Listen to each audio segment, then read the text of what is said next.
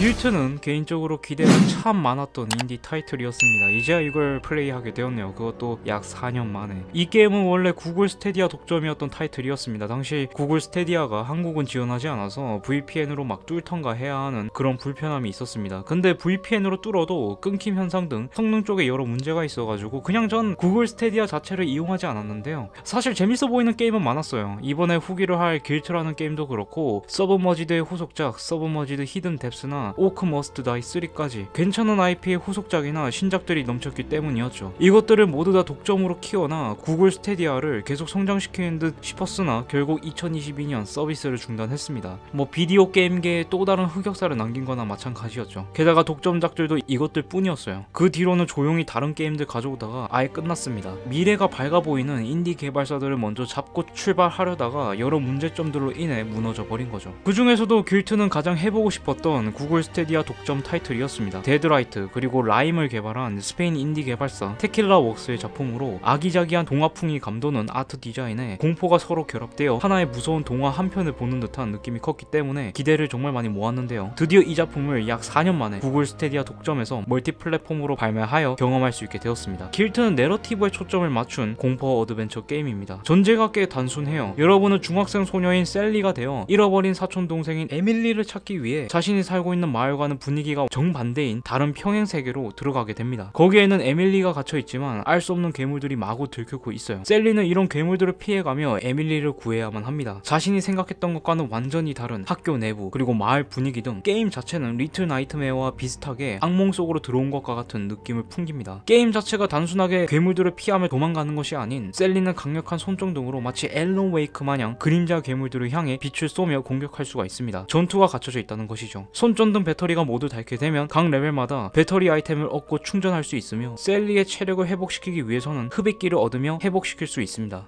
또 게임은 스텔스 역학을 주입시켜 적 뒤로 조용히 이동해 자맹 공격도 가능합니다. 자판기에서 캔을 꺼내 그 캔을 던지고 소음을 유발시켜 적들을 유인할 수도 있습니다.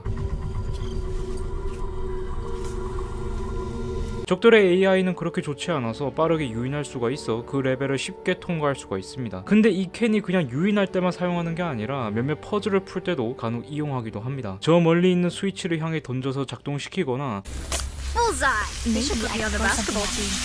아니면 물건을 향해 맞춰서 새로운 루트를 만들거나 할 수 있는 등등. 게임의 세계는 아트 디자인은 멋지며 정말 리틀 나이트메어를 연상케 합니다. 아기자기한 그래픽과 아트 그리고 기괴한 적들의 디자인과 으스스한 공간들까지 하나하나 진입할 때마다 지금 봐도 놀라운 구간들이 많습니다. 레벨 디자인은 꽤 선형적이고 퍼즐 또한 매우 단순하지만 신선한 아트 디자인 하나로 게임을 계속 붙잡고 있는 것 같습니다. 적들과 전투를 벌이지 않을 때는 몇 가지 간단한 상호작용 요소들을 이용해 퍼즐을 풀거나 환경 장애물들을 하나씩 제거하며 새로운 루트로 이동하게 될 겁니다. 이게 결국 퍼즐이에요. 손전등으로 발전기를 쏴 문을 열거나 아니면 새로운 쇼컷을 해금하는 등 각 레벨마다 간단한 역학들을 집어넣어 충분히 게임을 즐길 수 있도록 설계해 놓았습니다. 길트는 약 4년이나 지난 시점에서 게임을 바라보면 단순한 역학들과 선형적인 레벨 디자인으로 특별히 기대할 만한 부분은 없어 보이는 게임이었습니다. 새롭고 혁신적인 건 없을 거예요. 물론 내러티브나 아트 디자인, 비주얼 자체는 흥미롭고 테킬라 웍스의 또 다른 도전과 실험 정신이 돋보였습니다. 전투의 깊이도 없고 퍼즐 또한 단조로워서 1회 차 정도로 간단하게 플레이하기 딱 좋은 게임으로 느껴졌습니다. jump scare 연출도 상당히 어색해요.